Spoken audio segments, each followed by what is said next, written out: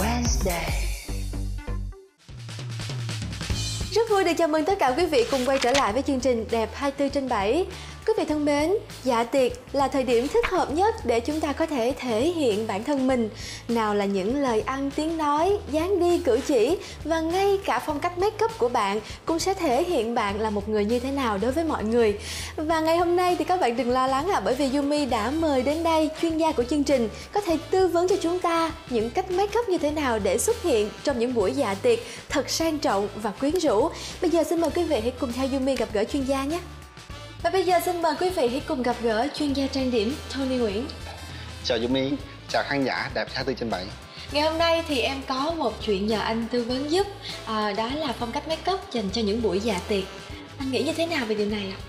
Thì à, đối với các buổi dạ tiệc thì phụ nữ muốn nổi bật hơn trong các buổi dạ tiệc thì có tông trang điểm lấp lánh ừ. hơi vàng nhũ một tí và có thể mình sẽ điểm nhấn vào son môi đỏ ừ. để làm mình nổi bật hơn giữa đám đông dạ. nghe anh nói thì em rất là tò mò không biết là khi thực hiện thì nó sẽ như thế nào bây giờ anh sẵn sàng chưa ạ ok mình đã sẵn sàng Wednesday Để có một lớp nền quyến rũ nhưng vẫn giữ được vẻ tự nhiên thì nên dùng các tông nền trùng với màu da. Điều này sẽ giúp cho vùng da cổ và da mặt không bị lệch màu khi trang điểm.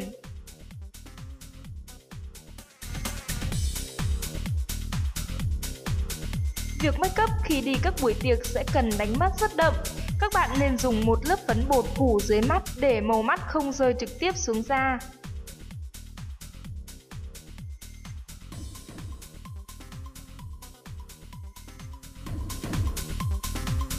Đôi mắt chắc chắn là điểm nhấn của phong cách trang điểm này nên rất cần được chú ý. Với tông màu vàng pastel và lấp lánh nhũ sẽ là tông màu hot nhất của mùa ờ, trang điểm năm nay. Chính vì thế Tony sẽ dùng bảng màu Jupiter Palette 13 của Menat để trang điểm cho bảng model hôm nay.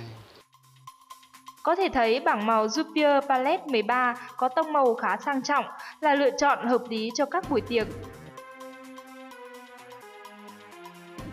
Tông màu phù hợp sẽ khiến đôi mắt long lanh, quyến rũ hơn, tán đậm ở phần đuôi mắt và nhạt dần ở phía đầu mắt.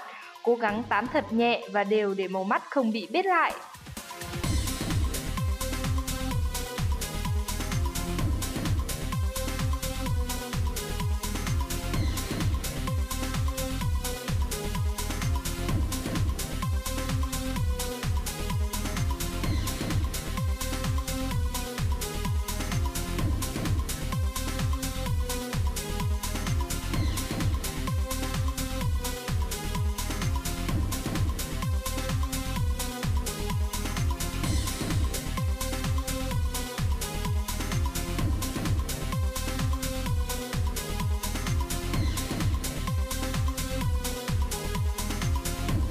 Kẻ eyeliner và chuốt mascara giúp đôi mắt to và sắc nét hơn.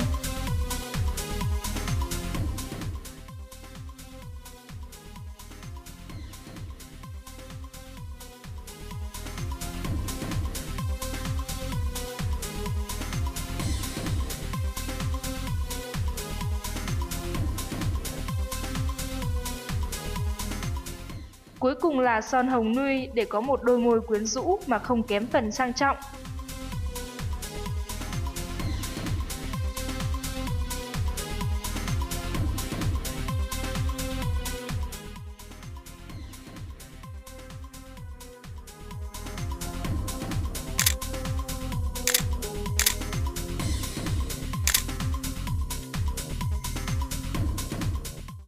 Vị thân mến và hy vọng rằng qua sự hướng dẫn tận tình của chuyên gia làm đẹp ngày hôm nay thì quý vị cũng sẽ có thể thực hiện được phong cách make up này tại nhà. Hãy mạnh dạn lên, cầm chiếc cọ lên và thử make up phong cách này trên chính gương mặt của mình.